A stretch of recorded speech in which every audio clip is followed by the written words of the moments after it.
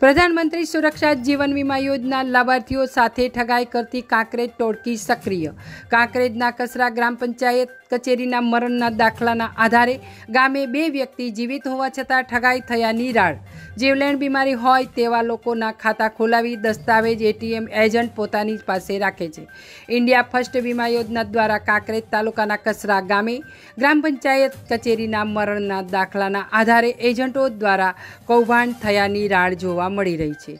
ગામના ઠાકોર રમેશજી, રૂપેશજી તેમજ ઠાકોર પરબતજી, હજુરજી બંને વ્યક્તિ જીવિત હોવા છતાં બેંકોમાં એમના નામના વીમા પાસ કરાવી એજન્ટ ઠાકોર, જયંતિજી, બાબુજી અને કમસીભાઈ દેસાઈ દ્વારા બેંકોમાં ઓટીપી માટે પોતાના મોબાઈલ આપી છેતરપિંડી કરતા ગામના લોકોમાં અનેક કુતૂહલ સર્જાયું હતું. વાત કરવામાં આવે તો બનાસકાંઠા જિલ્લા તપાસ કરવામાં આવે તો આવા અનેક એજન્ટ દ્વારા બેંકોમાં કૌભાંડ થયાની રાડ અરજદારો દ્વારા કરવામાં આવી હતી. કસરા ગામના મરણના દાખલા હોવા છતાં સરપંચ તેમજ તલાટી કમ મંત્રી પણ આ વાતથી વાકેફ છે. પોતાના પંચાયતનામાં અરજ અરજદાર જીવિત હોવા છતાં મરણના દાખલા આધારે બેન્કો પેમેન્ટ ચૂકવણું કરતી હોય છે. તો આખરે જવાબદાર કોણ? બનાસકાંઠા જિલ્લામાં વધુમાં વધુ કાયદેસરની તપાસ કરવામાં આવે તો અનેક જગ્યાએ થતા કૌભાંડ થતાં અટકાવી શકાય. આવા તત્વો સામે કાયદેસરની કાર્યવાહી કરવા માટે લાગણી સાથે માંગણી છે.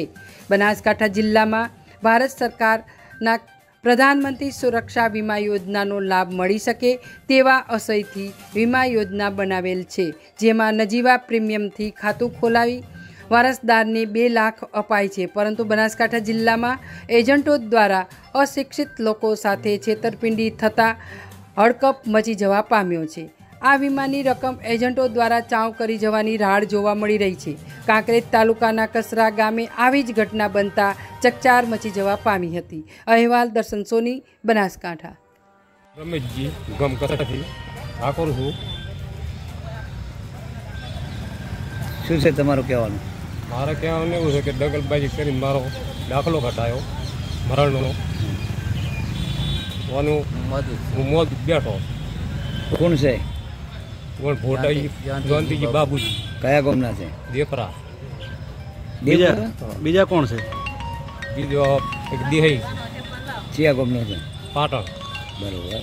તમે શેના માટે શિવરી આવ્યા છો? અમે ફરિયાદ દાખલ કરવા.